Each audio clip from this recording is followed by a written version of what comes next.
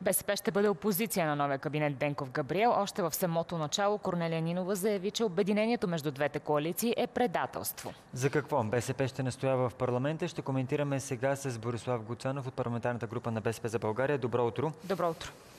Направо започваме там, господин Гоцанов. Само след няколко часа ще трябва да натиснете копчето да или не за кабинетът на Денков и госпожа Габриел. Как ще гласува БСП за този кабинет? Естествено, че не. То даже няма какво да се коментира по този въпрос, но дали е Денков Габриел или само Денков временно, те първа предстои, защото 9 месеца аз не вярвам да издържи този кабинет на умертата. Така че Смятате, че няма да стигне до премиер Габриел, така ли? Не виждам как ще стане това нещо в тази ситуация, в която се създава този а, кабинет и начина по който се създава, защото това са абсурдни неща. Наистина е едно умерзение, на което сме свидетели в а, момента. Какво Политическа партия толкова? Промяната се роди като протестна партия и партия, която трябваше да смени политическа партия ГЕРБ, да смени този модел на управление. Тя се роди под юмрука на президентът Радев. А в един момент тя се прегръща с антипода си ГЕРБ, както те се определяха за такива. Явно не е точно така. А Демократична България, помните, че акустираха с гумената лодка на брега на Росенец и така се върнаха обратно в политиката, защото те бяха забравени и бяха излезли от Народното събрание. И по този начин успяха отново да се приберат в парламента и отново да играят някаква роля, а сега се прегърнаха с господин Пеевски, с Движението за права Господин и свободи. но не беше ли по-добрия вариант това точно това? странни неща и аз затова смятам, че това наистина е една коалиция на омертата и коалиция на имунитетите, защото взаимно се защитават ГЕРБ имунитета на техният лидер, а най-вероятно и на други народни представители, от продължаваме промяната имунитетът на министър-председателят, който беше на господин Василев за всичките сделки, които бяха извършени. Не беше ли обаче това вариантът да имаме правителство, защото, както разбрахме, и вие отказахте подкрепа за първият мандат на ГЕРБ. Изобщо нямаше друг вариант, в който да, да имаме кабинет. Аз не коментирам дали е имало други варианти или нямало други варианти а казвам какви са реалните ситуации на тези политически партии. Промяната излъга ли своите избиратели? Тя щеше ли въобще да влезе в Народното събрание и щеше ли някой да знае кои са тези хора, ако те не коментираха, че са тези, които идват, за да дадат новият морал. Е, кой е новият морал? Новият морал е, че с двойно гражданство ставаш министър. Двойният морал е, че изгонваш руски дипломати, без да имаш каквито и доказателства. Но всички тези Моралът, действия, за които е... говорите, господин Гоценов, бяха по времето, когато вие управлявахте това, заедно с премиера Кирил Петков тогава. И спомните, ние напуснахме именно това управление и това правителство, защото едната от причините беше доставките на газ, защото България в момента е пред огромната угроза да се наложи да плати Ама то беше свалено с на недоверие това правителство, заради има такъв народ, които казаха тръгваме точно парламентарната група на БСП казахме, че повече не можем да подкрепим министър-председател господин Петков. Сещате се нашето заседание, което беше в зала Изток и където излязахме с ясна декларация с всичките тези действия. Така че, кое кое е новото, кое е новият морал? И този запис, който излезе, защото той не е изтекал, не е специални разузнавателни средства, е съвсем ясен разговор на един национален съвет на тази политическа партия. И извинявайте, ма те ако разсъждават по този начин тези хора, какво очакваме от тях? Че това беше абсурдно. Ако трябва разговорен език да използвам, това беше пълна свинщина, на което станахме свидетели. Как е възможно такова нещо? Да коментираш, че ти ще съгласуваш разузнавателните служби, специалните служби с посолство, посолствата. Това не е ли национално предателство? Господин Гуцанов, сега ако погледнем към кабинета, който а, вече, вече се представи, който стана ясна, ясни имената на министрите, има ли някой от министрите, който вие не одобрявате? Те не са един или два министрите, които не одобряваме. Аз бих се спрял на господин Тагарев като Защо? военен министр, защото ние говорихме, че това беше една коалиция на войната. И си спомните, че коментирахме, че това е, е възможна коалиция още по време на изборната а, кампания. И тогава казахме, че това е най-опасното нещо за държавата ни да има коалиция между политическа партия ГЕРБ и продължаваме промяната Демократична България, защото те наистина биха ни вкарали в един военен конфликт, който е на 250 км от Варна. Забележите, по-близо отколкото е Варна до София, е конфликта от Варна до точката на военните действия.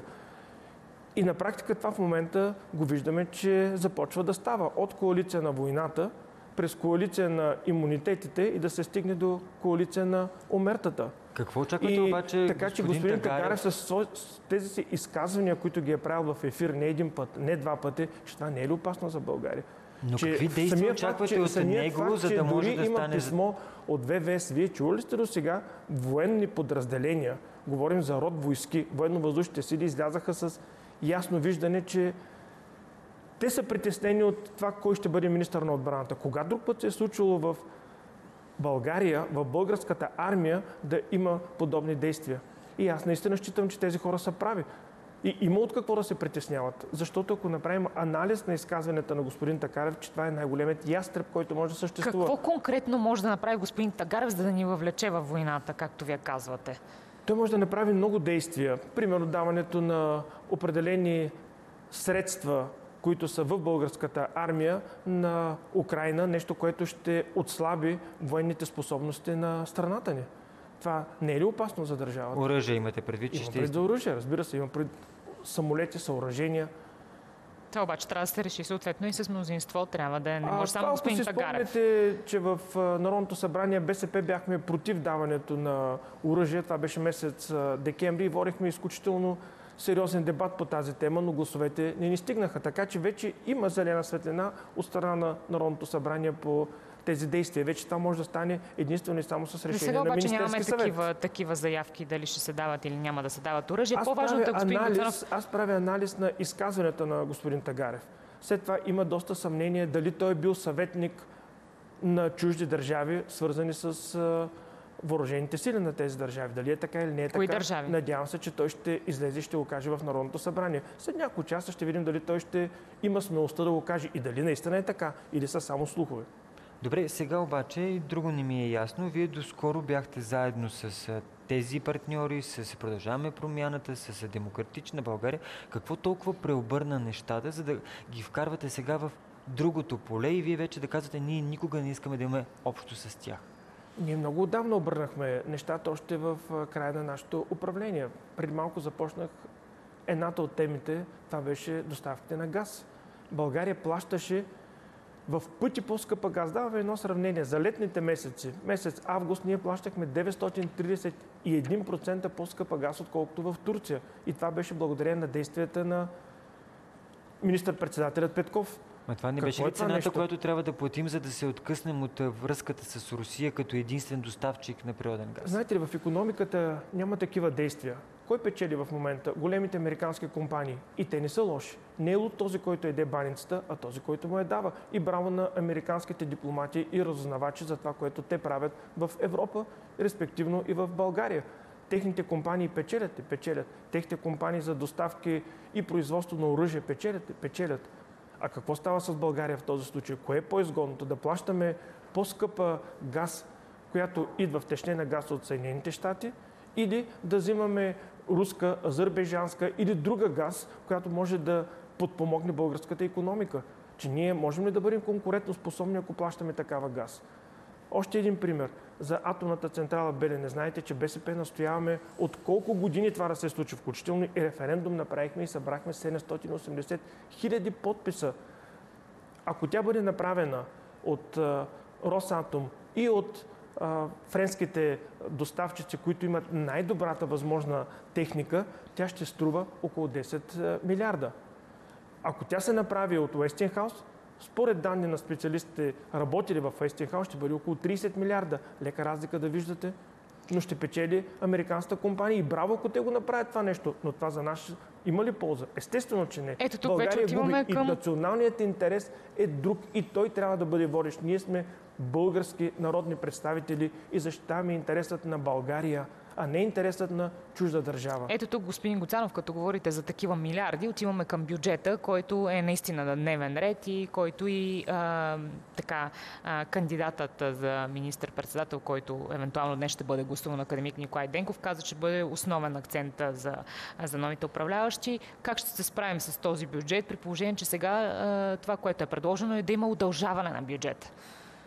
Ние имаме сериозни разминавания, поне като разговори на този етап, защото няма вкаран бюджет в пленарна зала, за да можем да го коментираме сериозно, така че аз говоря на базата на отделни парламентарни изказвания от трибуната на Народното събрание. служебният кабинет предложи удължаване. Защото, да, най-вероятно ще се мине през удължаване, след което ще се вкара редовен бюджет. Най-вероятно. Това трябва да се вземе като решение от Министерски съвет и от новият министр-председател и неговият екип.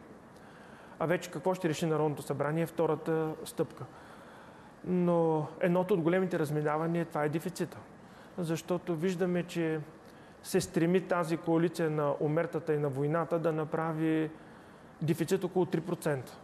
Като основната им цел този дефицит да бъде 3%, да може България да влезе в еврозоната края на тази година, 24-та година, за което БСП сме категорично против тъй като България не е готова да влезе в еврозоната.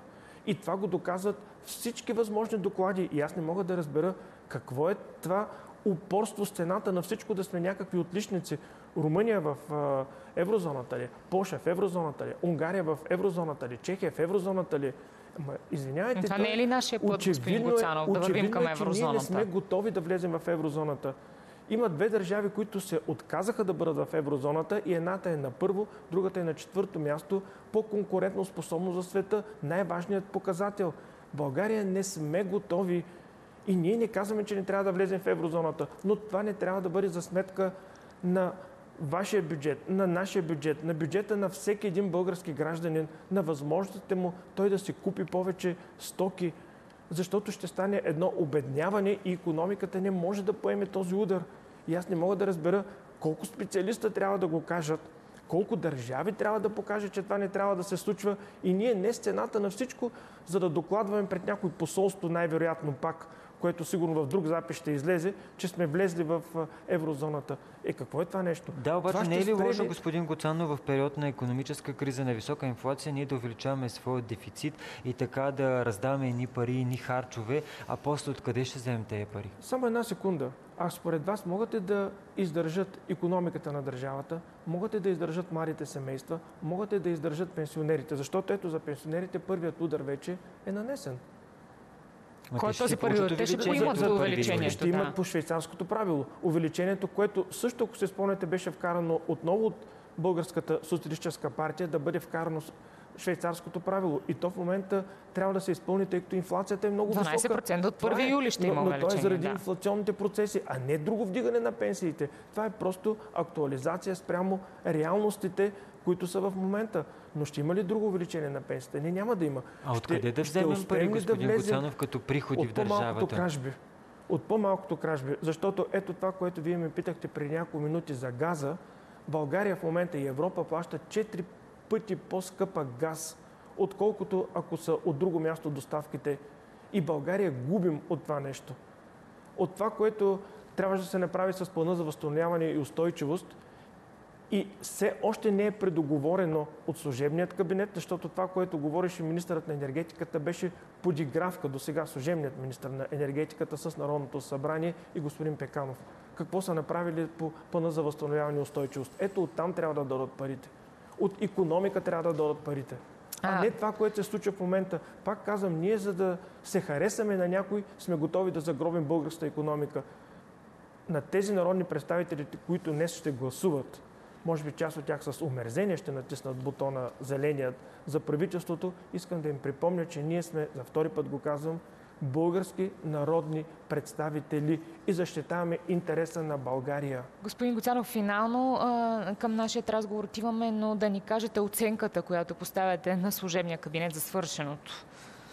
Оценката е ниска, защото служебният кабинет има няколко, една основна функция, освен другите по-съпътстващи на второ място – тя е да бъдат проведени честни избори. Честни ли бяха изборите? От записа, който излезе, господин Кирил Петков казва, ние направихме ала-бала с президента и ако изборите бяха нормални или оставим хората да гласуват нормално, перфразирам думите, ние ще имаме между 7, максимум 10%. Къде са, откъде са останалите 15-16% на продължаваме промяната от Ако Алабала? имате такива съмнения, се защо не успорихте нещо? И изборите? на още едно нещо. Вижте какви са преференциите. Давам пример с моят избирателен район. Един от избирателните ми райони, Варна, където една дама от политическа партия ГЕРБ има 11 000 преференции и то основно от малките населени места. Че ние ако я пуснем в центъра на областта, тя ще се загуби, ама иначе хората я познават и гласуват за нея. Извинявайте, ма това свършна работа ли е на служебният кабинет? Тя винаги печели тази дама от Варна, Да, така че явно успява да събере симпатиите. Да, да, и как събират тези симпатии? Има ли някой, който да не знае как събират? И не само тя. Ако искате да ви дам пример за северо-западният район, където една от политическите партии събира 25%, а на Въпросът беше, господин преброяванията- Гоцанов, отклонихме се, но преброяванията- какво свърши кабинета, служебния кабинет, Ами, основната функция на служебният кабинет е да бъдат проведени честни избори. След като има ала бала, който изтича от записите, Според вас не е имало честни избори, но тогава вие трябва да ги успорите, ако не е имало честни Как да избори. успориш тези честни избори, когато ти пускаш сигнал след сигнал и няма никаква реакция на тези сигнали? Как да стане това нещо, като всеки знае колко чедъра се правят, след което никой не коментира какво е станало. Колко пъти от БСП коментираме тази тема, ние като политическа партия, но органите са тези, които трябва да вземат мерки. Министерство на вътрешните работи, ДАНС, Очакваме да видим БСП каква опозиция ще бъде в този парламент сега при бъдете сигурни, встъпването в доста длъжност на новия кабинет. опозиция ще бъде БСП. Добре, благодарим ви. И аз благодаря.